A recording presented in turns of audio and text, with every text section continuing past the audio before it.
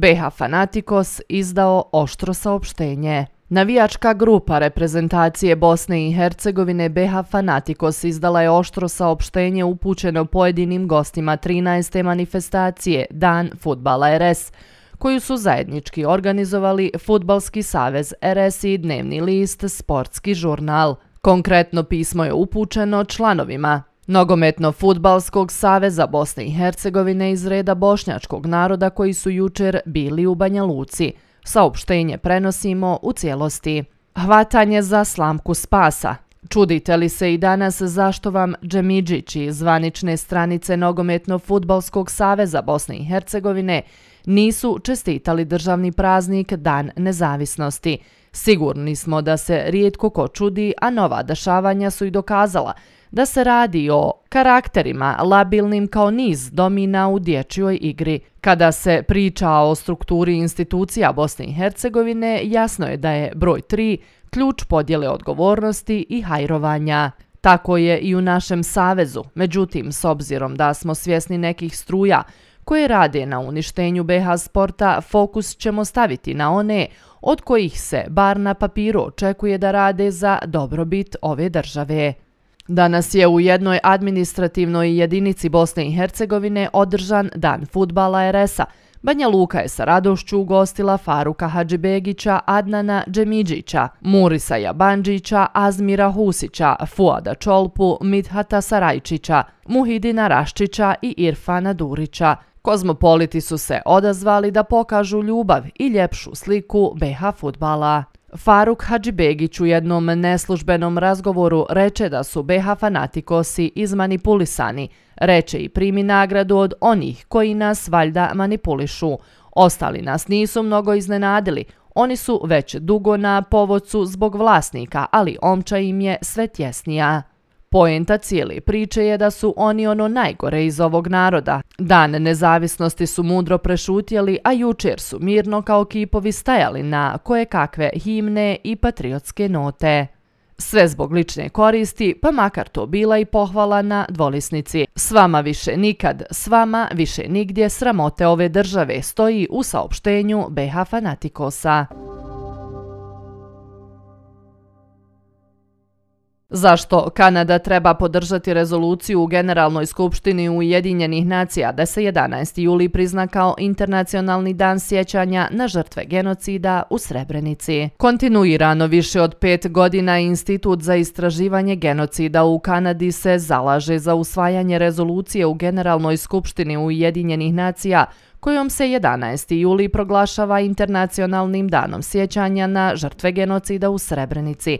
Institut za istraživanje genocida Kanada je pismeno zatražio od premijera ministrice vanjskih poslova i ambasadora u Ujedinjenim nacijama da Kanada podrži rezoluciju u Generalnoj skupštini Ujedinjenih nacija da se 11. juli prizna kao internacionalni dan sjećanja na žrtve genocida u Srebrenici. Isto je to zatraženo od kanadskih intelektualaca, parlamentaraca i organizacija za zaštitu ljudskih prava i sloboda. Umeđu vremenu obavljene su konsultacije i razgovori sa više članova kanadskog parlamenta koji su podržali naš zahtjev. Podrškom rezoluciji Kanada bi stavila tačku na svoju ulogu u priznavanju i poštovanju sudskih činjenica internacionalnih i nacionalnih sudova o genocidu u Srebrenici, Kanada bi se još jednom pridružila globalnoj zajednici u solidarnosti protiv zločina, genocida i pokazala svoju reputaciju kao zemlja koja se zalaže za mir, istinu, pravdu i zaštitu ljudskih prava i sloboda.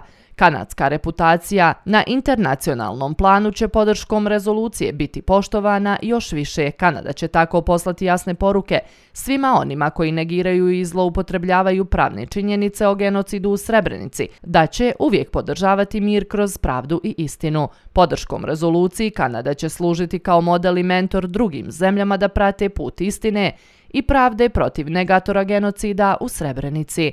Kanada će time dati nadu žrtvama genocida koji su je počeli gubiti. Ovo su samo neki razlozi zašto mnogo kanadžani, kanadski intelektualci, parlamentarci daju podršku rezoluciji da se 11. juli prizna kao internacionalni dan sjećanja za žrtve genocida u Srebrenici, tako da se ovaj genocid nikada ne zaboravi i da ljudi žive zajedno u miru poslije pobjede istine i pravde i da se nikada ne ponovi ono što se desilo bošnjacima. Zahvaljujemo se Kanadi što je već priznala sudske činjenice o genocidu u Srebrenici putem parlamentarnih rezolucija.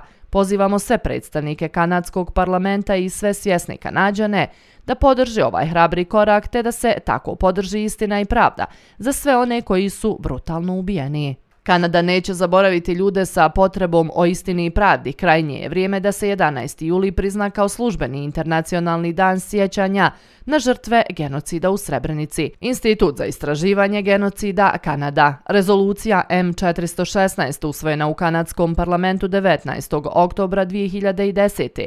priznaje 11. juli svake godine kao dan sjećanja na genocid u Srebrenici u Kanadi. Rezolucija M587 usvojena u kanadskom parlamentu 24. aprila 2015. godine uključuje genocid u Srebrenici i dan sjećanja na Srebrenicu kao dio mjeseca sjećanja osude i svijesti o genocidu svakog aprila u Kanadi. Rusi tvrde da je na strani Ukrajine poginulo 90 boraca iz Bosne i Hercegovine. Rusija je u četvrtak saopćila da su njene snage ubile gotovo 6000 stranih dobrovoljaca koji su se borili na strani Ukrajine od potpune invazije Moskve prije više od dvije godine. Prema Ministarstvu odbrane 13.387 stranih plaćenika iz desetaka zemalja borilo se u Ukrajini od februara 2022. godine. Sve ukupno su ruske snage ubile 5960 i dvoje tih boraca dobrovoljaca, navodi se. Među njima je i navodno 207 boraca iz Bosne i Hercegovine, od kojih je 90 ubijeno na strani Ukrajine. Vodeći popis Ministarstva odbrane bili su dobrovoljci iz Poljske, gdje je navodno poginulo 1497 od 2690 boraca. Od zemalja regiona tu je Hrvatska sa 335 boraca, od kojih je navodno ubijeno 152, Crna Gora s 2 i Srbija sa jednim borcem. Osim toga, rečeno je da su ruske snage ubile 561 borca iz Gruzije, 491 iz Sjedinjenih američkih država, 422 iz Kanade, 360 iz Britanije, 349 iz Rumunjske, 147 iz Francuske i 88 iz Njemačke. Ovakve tvrdnje Ruskog ministarstva nije moguće nezavisno potvrditi, a u nekoliko navrata zapadne vlade su opovrgle informacije iz Moskve.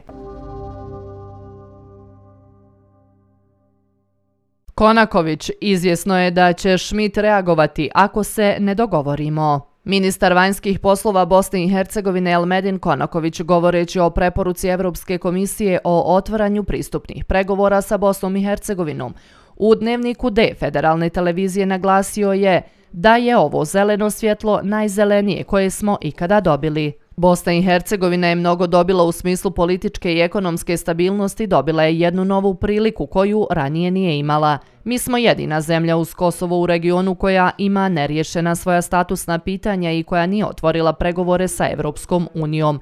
Mi smo zapravo utrčali u zadnji voz, pojašnjava on.